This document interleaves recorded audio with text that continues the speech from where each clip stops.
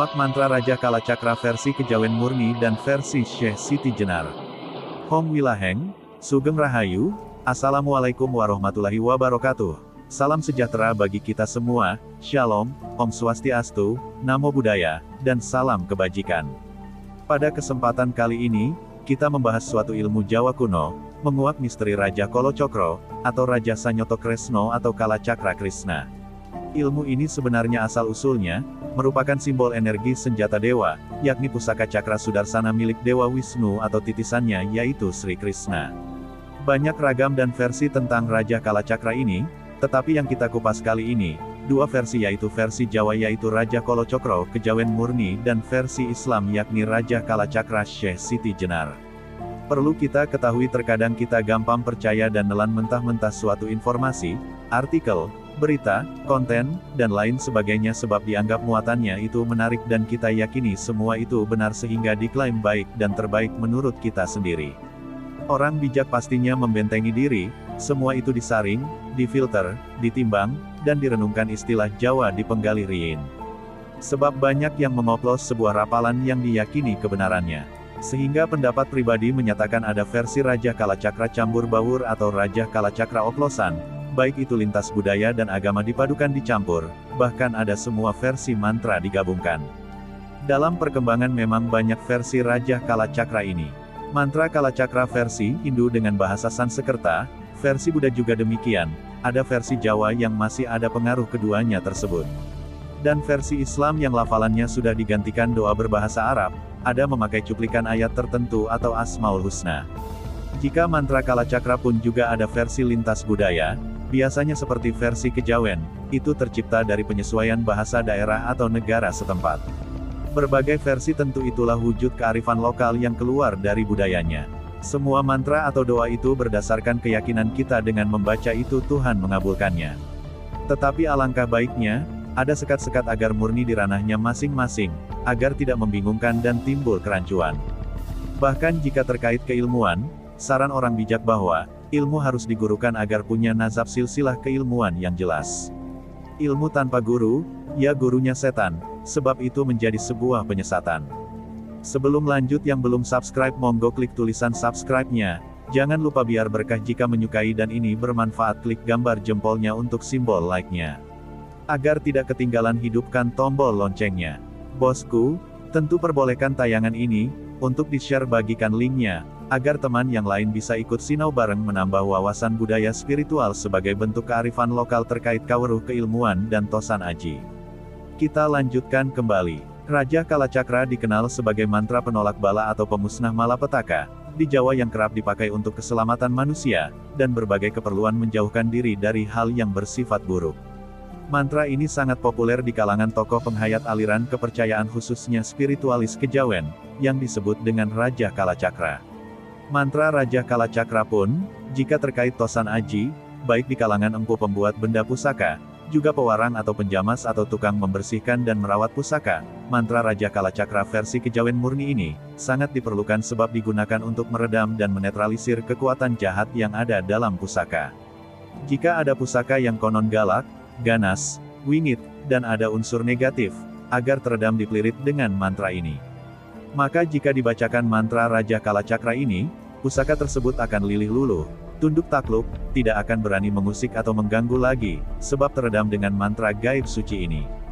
Adapun mantranya sebagai berikut yakni versi kejawen murni, bacaan mantranya, Hong Ilaheng Cipto Roso Sang Hianing Karso, berkah sabdo pangucap Niro Mantak Aji Raja Kolo Cokro, tak sedio anduweni guno gaweku.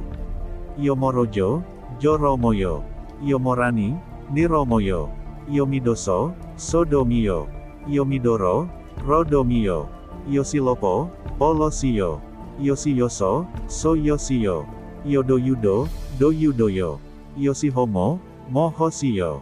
Tatas titis kasembadan manjing rerajahan kolo cokro, Mijilo kabul sabda dumadin karsaningsun. Bacaan mantra ini, cukup dirapal satu kali saja, tentu harus hafal mantra Raja Kala Cakra ini. Menurut Eyang Guru Raden Cokro Jayaningrat sebagai narasumber juga pembimbing spiritual kami, berpesan, Agar mantra ini memiliki daya, kekuatannya merasuk sehingga menjadi piandel yang mumpuni, harus ditebus dengan puasa tujuh kali gabit weton. Ngelmu iku kalakok ake kanti laku. Yen tampo laku doyone ora metu. Bagi bosku yang memiliki guru, bisa minta bimbingan guru spiritual bosku sendiri tentunya, mungkin terkait bab Raja Kalacakra dengan penjabaran, wedaran, bahkan rapalan mantra yang serupa tapi tak sama. Jika meyakini postingan ini ya monggo. Inilah syahdunya Sinau bareng sambil ngopi syahdu bersama Omah Keris Salatiga. Sekarang kita bahas versi Islam atau versi Raja Kalacakra Syekh Siti Jenar.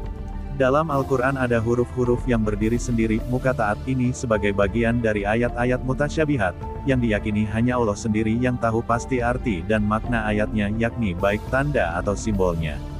Namun, sebagian lagi berpendapat bahwa ulama atau cendikiawan lainnya yang diberikan kelebihan pengetahuan, semisal pengetahuan esoteri, sebab memiliki kemampuan menangkap makna huruf-huruf ini, salah satunya waliullah yang kontroversi di kalangan wali songo yakni Syekh Siti Jenar atau Sunan Kajenar, sehingga rapalan doa ini, digunakan sebagai kekuatan gaib dalam siar Islam, yang energinya seirama dengan rapalan mantra Raja Kalacakra, tak heran jika disebut Raja Kalacakra Syekh Siti Jenar, lafalannya sebagai berikut, Bismillahirrohmanirrohim. Alif, Lam, Mim, Sot. Alif, Lam, Mim, Ro. Alif, Lam, Mim, Kaf. Alif, Lam, Mim, Ha.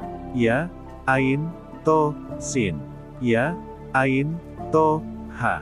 Ya, Ain, To, Kof. Ya, Ain, To, Nun. Simbol huruf bisa ditulis di kertas tiap huruf ditulis sambil membaca lafalnya.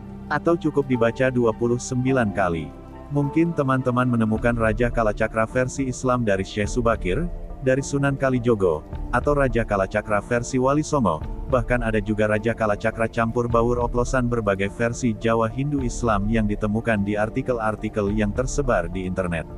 Itu hak sedulur meyakini atau tidaknya jika mantra oplosan itu mujarab, minuman jika dioplos juga memabukkan. Pendapat pribadi saya, terkait versi biar di tanah masing-masing agar tidak rancu, jika versi Jawa ya kejawen, Islam ya Islam, Hindu Budaya Hindu Buddha, dan sebagainya. Sesuai keyakinan kepercayaan masing-masing.